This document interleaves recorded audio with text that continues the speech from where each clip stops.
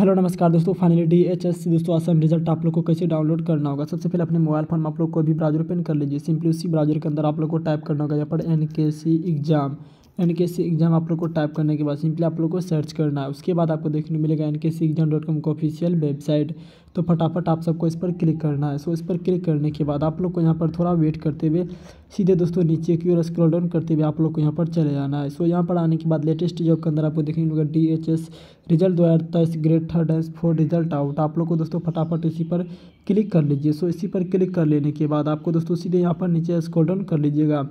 और यहाँ पर सीधे दोस्तों आप लोग को नीचे की और यहाँ पर आना होगा यहाँ पर आने के बाद आपको दोस्तों सारी जानकारी आप लोग को यहाँ पर देखने को मिल जाएगी तो इसी प्रकार से आप लोग को दोस्तों सीधे यहाँ पर नीचे आना होगा सारा जानकारी आप लोग को यहाँ पर देखने को मिल जाएगी तो इसी प्रकार से आप लोग को सीधे यहाँ पर नीचे की ओर चले जाना होगा